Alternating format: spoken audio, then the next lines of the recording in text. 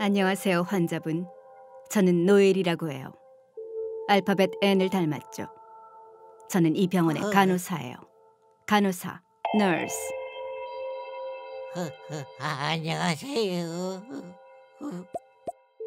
감기가 심하신가 봐요. 감기가 아니군요. 알러지네요. 견과류 알러지.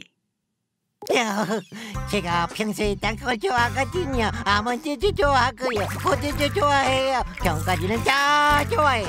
견과류, 넛. 그렇군요. 네.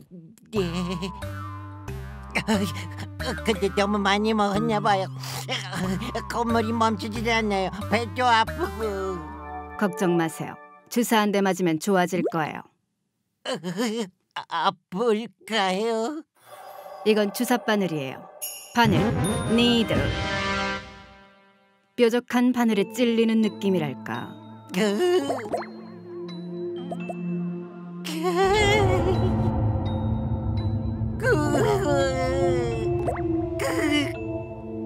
견과류 씨, 엎드리세요. 예? 아, 콧물이 심하니까 코에다 주사를 넣는 거 아닌가요? 코, 노즈. 아닙니다. No, 그, 주사 안 맞으면 안 될까요? 안 됩니다. No.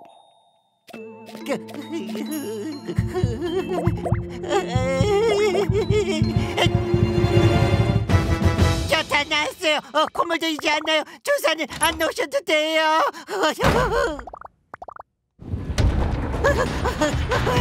환자분, 환자분. 주사는 벌써 맞으셨어요. 예?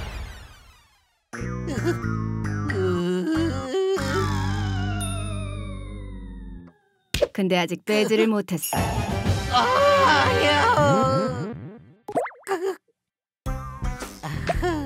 이제 괜찮을 거예요. 주사 아프지 않네요. 고마워요, 노엘. needle no nose nuts nurse